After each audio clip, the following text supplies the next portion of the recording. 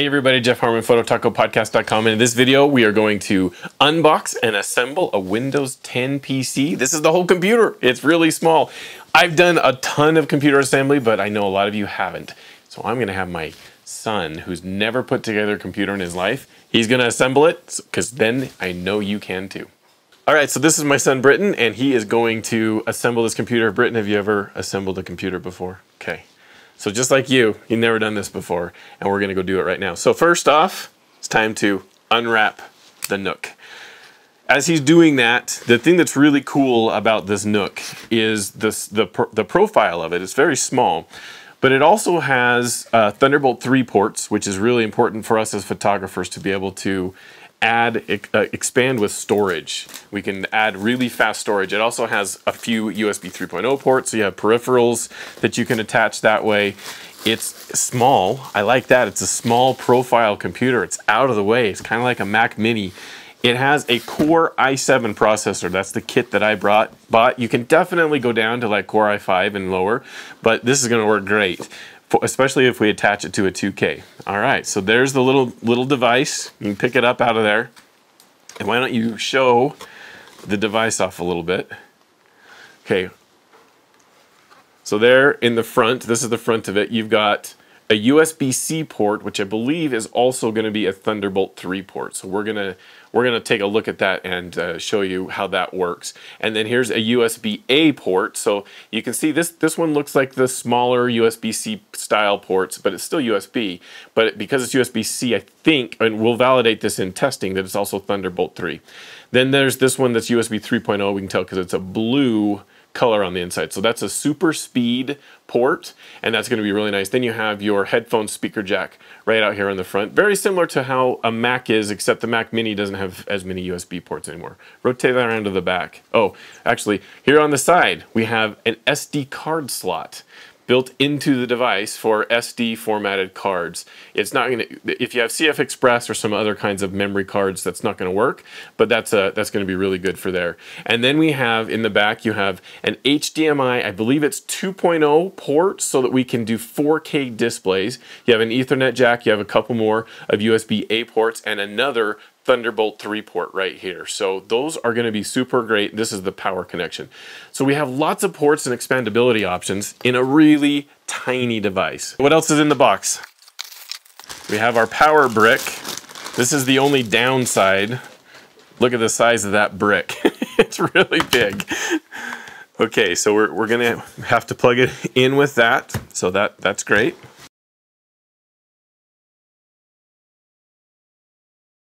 It's ready to be powered on, but we're not going to power it on yet. Okay, what else is in the box? You have, uh, looks like an instruction manual. Probably outlines the ports we just went through. You have some screws. We'll have to, and there's another screw right there, so we'll see what that's all about. More manuals. There's system care, regulatory documentation, and some kind of plate. This is so that you can attach it. It's a VESA mount is what it's called. And it's used so that you can, these screws match up to screws that are in um, on the back of a monitor. And you can attach this whole thing to the back of a monitor so that you don't even see the device. It just is hanging off the back of the monitor. We're not gonna do that, but. Okay, this is the memory. Really simple to be able to open that up. We won't take it out yet. Hold on on that. We're gonna have to disassemble the NUC a little bit. And then here's the hard drive. Here we go. Okay, take that out. There's the hard drive. it's a really tiny little thing. It's gonna go inside the computer. All right, we're gonna clear this off and get ready to actually assemble the computer now. Okay, now we're going to install the components. So Britton, turn it over so you can get to the bottom. And we need to undo those four screws. It just will kind of stay in there. So that's good.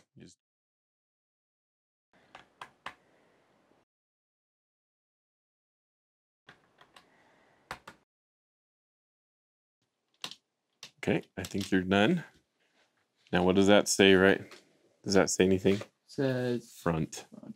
So when we put it back on, it has to be that way. Okay, does it come off now? Can you like lift off the? Not yet.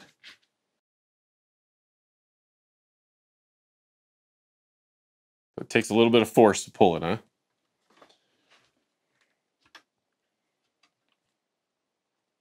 Is this one not undone? There we go. It Wasn't undone all the way. There you go. Pull it out.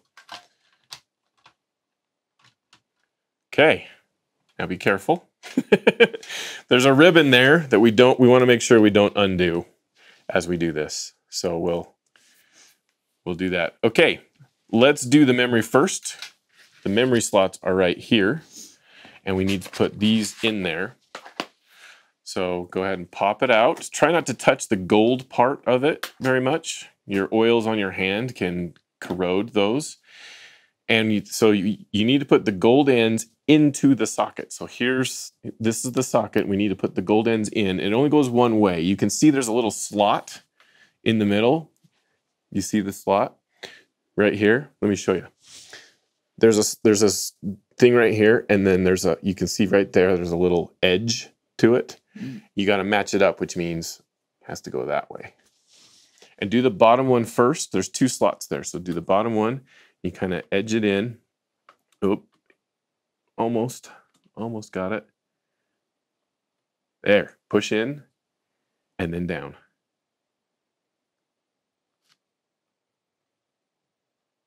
There. You clicked it in. It's in and down. Just make sure. Okay, good. Do the same thing on the other one. Is the slot lining up? Okay, good. In and clicks. Okay, memory installed. now we got to put in the hard drive. And it has, let me just explain. So this ribbon cable comes up and goes into what is the hard drive slot. This is for a normal hard drive right here. Um, so we could even expand the storage itself buying a 2.5 inch hard drive that has much more storage space. It would be slower than this, but that would have much more storage space. We could do that, but we're going to install the NVMe drive. That's this socket right here. It actually looks like there may be two sockets. So you could ha actually have two NVMe drives installed in this. I'm trying to see if that's actually two slots or not. Okay, so we're gonna install it. Again, you got to get the gold parts down inside of that. And there's a little slot that it fits into. Yep. And you just kind of push it back and in. Yep. And let it go down. Now we need our screw, that, that other screw that we, we had. And before, oh, there's actually one in there already. We need to undo, so remove that out. Just pull that way yep. and undo the screw that's on top. Is it too little? Mm -hmm. We need a smaller yeah. screwdriver. Okay, so this screwdriver head ends up being a little bit too big for that screwdriver. So we're going to use a smaller one. This is a kit I bought from iFixit a, a while ago. I really love the iFixit stuff. And uh, I'm gonna use the zero sized screwdriver head, put it in the screwdriver. There you go, Britt, and see if that works a little better.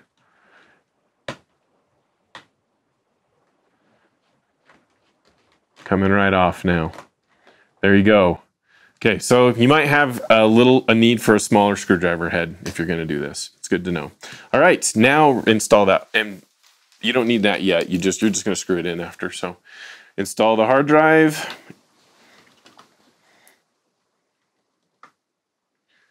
Perfect. Now put that screw back in over the top.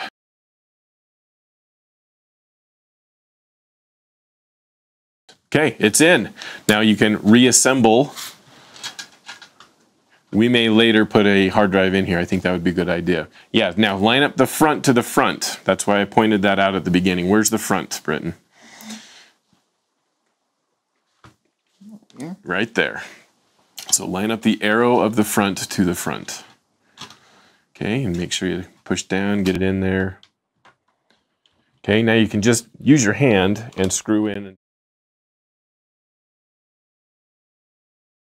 Perfect. It's assembled.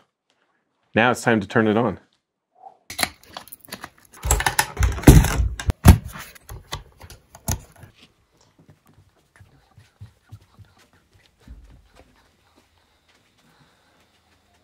This is the SanDisk flash drive that I recommend you buy. I, I like the SanDisk uh, branded flash drives. I think they're very high quality. I have had some fail, but all flash drives fail. So, you know, it, you can buy whatever you want, but this is the one that I'll put in the description.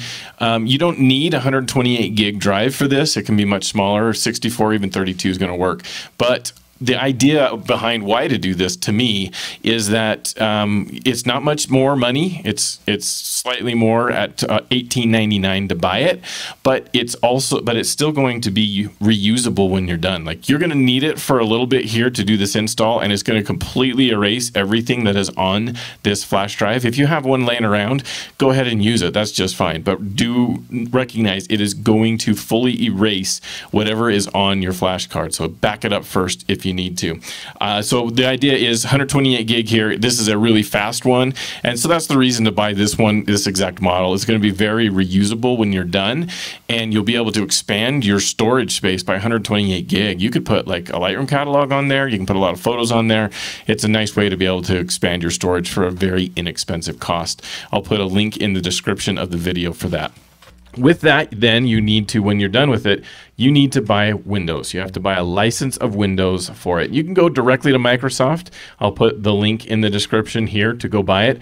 I do recommend Windows 10 Pro over Windows 10 Home for photographers for one reason. It's not really a feature set thing, it is that you can delay the install of Windows upgrades if you have Windows 10 Pro.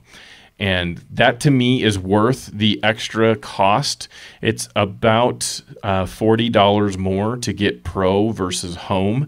And it's worth it to me to be able to delay upgrades and uh, install upgrades when I have, uh, have passed that.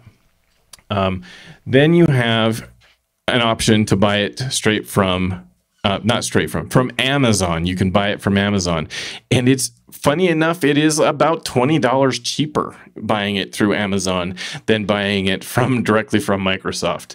So this is a download only. If you would rather get a USB drive sent to you that has the install on it, that is the same cost as Microsoft and you can just do USB and they'll ship you a USB that has the the uh, the bits on it and you don't have to buy your own drive or create one. But I'm going to show you how to do it yourself. Save a little bit of money. You can save 20 bucks and uh, and be able to to uh, to do this a little cheaper. So you just hit add to cart, go buy it, and what it does is it puts this as a uh, a downloadable software title in your Amazon account. So it just puts a valid Windows key into your Amazon account. It doesn't even let you download it here. To do that. You have to go to this other tab I will also put in the description. You have to create Windows 10 installation media. And there's this tool. If you click this button, it has you download something called the media creation tool that allows you to do the rest of this process. And right here is the instructions actually of what you need. If I click that and expand it, it's a lot of instructions about what you can do, how do you get the product keys, how do you download it, and so on. But I'm going to walk you through the process right now. I have the tool installed this is what it looks like when you come up after some initial setup things and you accept an agreement. It comes up to this. We, I don't want to upgrade this PC. I want to create installation media using my USB flash drive to, uh, to make an install. So I'm going to do that you select which one. You don't want it recommended based on the computer that you have you are using but we do want 64-bit the machine i have is 64-bit computer. That's what the intel NUC is is a 64-bit almost everything today is uh, you're going to be hard pressed to find something that's not 64-bit so those are the options. It didn't really change anything but if you are using a windows 10 machine or a windows computer that is 32-bit it, it might default to something else. We want these three settings set this way. So now I'm going to hit next. I want to do this to a USB flash drive and it notes here eight gigabytes of storage. So if you have one laying around that's at least eight gigabytes, you can use it. Just remember it's going to erase whatever is on the drive. So I'm going to hit next. And these are my two options. These are my external drives. I'm going to use that drive N is the drive that I put in here. And now it is starting to download the ISO of what it needs. This is going to take a minute, so we will fast forward through this process. Depends on uh, you know your download speeds of how, how fast this happens.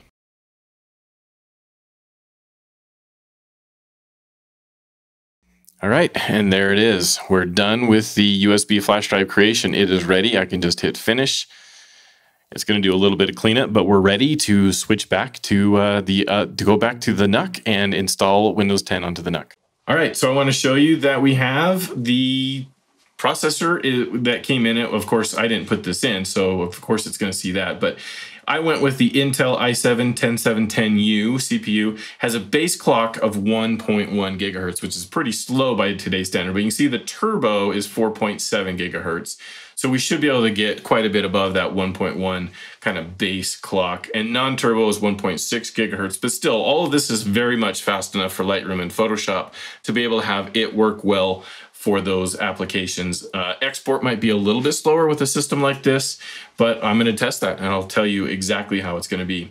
We also have 64 gigabytes of memory. You can see right there it's installed running at 2667 megahertz, and we have both, it, it sees the two sticks, two 32 gig sticks of RAM. So that's good. Now if we go advanced and over to storage, we can see that we have our Samsung SSD drive, the 970 Pro 512 gigabytes. So everything that we installed in the computer is being seen. Now it's time to install the operating system. Okay, and here we are into Windows. It's all done. What we skipped the setup of Windows 10 install where you chose like your account creation, your security questions for your account, and uh, your privacy settings of what stuff you're willing to share with Microsoft or turning it all off. That's all up to you. Uh, you know, you can decide what you're going to do there. But now we have a full Windows install. And if I bring up like File Explorer, you can see I have my main main drive here. A local disk C is 512 gig of storage, and we have the USB drive that's still mounted in the computer system that has a lot of storage space available to it. So there you go. It's all ready to go. Now we're ready to install Lightroom and Photoshop or whatever else you might want on the machine. Stay tuned for more testing results of what I'm going to have on phototacopodcast.com about how well this performs compared to other machines with more hardware, more equipment, and seeing how Lightroom and Photoshop runs on it.